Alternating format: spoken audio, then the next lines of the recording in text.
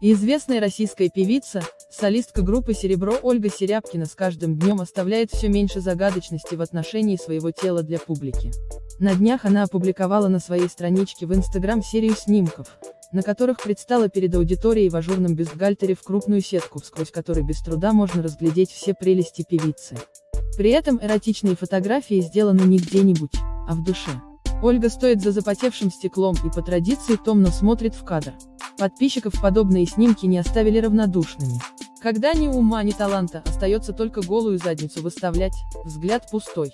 Понятно, почему к тебе на улице пацаны пристают. Поведение дает о себе знать. Неужели кроме голых фоток нечего показать? Как вы осточертели, голуши? Осталось только в порно сняться, прокомментировали публикацию недовольные подписчики. Однако нашлись и те, кто отметили прекрасную фигуру певицы и ее безупречный наряд. Оля, ты секси. Как всегда прекрасно. Ах, какой взгляд. А фигура-то какая. Класс, написали фанаты. Ранее Пятый канал сообщал о том, что Ольга Серябкина рассказала о нападении в Москве в виде